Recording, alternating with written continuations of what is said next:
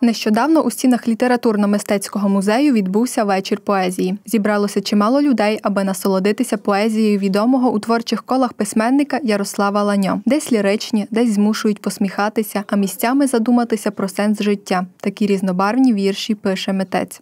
Ой, сину мій сину, накинув хустину, в косу заплету срібнопасмо своє, піду знов до тебе на свіжу могилу, спитаю у вітру, де ж ти тепер є? Чи спиш же на небі ти янголи білі, чи в царстві небесній ти Божий слуга? Несуть слабкі ноги, вуста уніміли, і квіти тримає тремтяча рука. Пишу вже років 30, пишу лише для себе. Це для мене як хобі.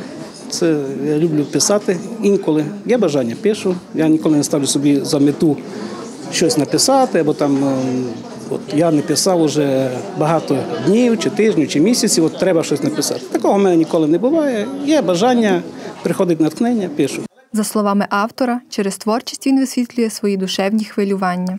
Все це передається на папері і потім залишається в якихось римованих рядках.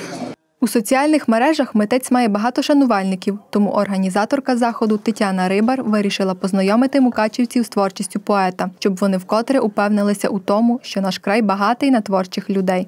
Сьогодні у нас автор, який надзвичайно цікавий. Це неординарна особистість. Він а має е, дуже багато віршів, котрі вже люди перечитують, сказують на пам'ять. Він надзвичайно е, яскравий. Колеги радіють, що у митця є можливість заявити про себе на широкий загал і щиро захоплюються його творчістю. Я взагалі в захваті від людей, які е, настільки майстерно знають висловити е, свої переживання. В нього абсолютно різна тематика віршів. На заході зібралося чимало творчих особистостей, і всі вони кажуть, що такі мистецькі вечори є дуже важливими для них та дають змогу відкрити у собі друге дихання і продовжувати творити. Я взагалі люблю бувати е, на подібних е, мероприємствах, тому що як і сама десь щось пишу, але черпати від інших це ну.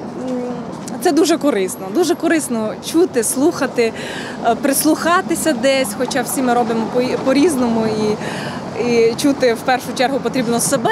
Люблю я, люблю я відвідувати подібні е, заходи. І коли є така можливість, коли є час, і, і коли вони проводяться, то звичайно намагаюся бути і всім раджу.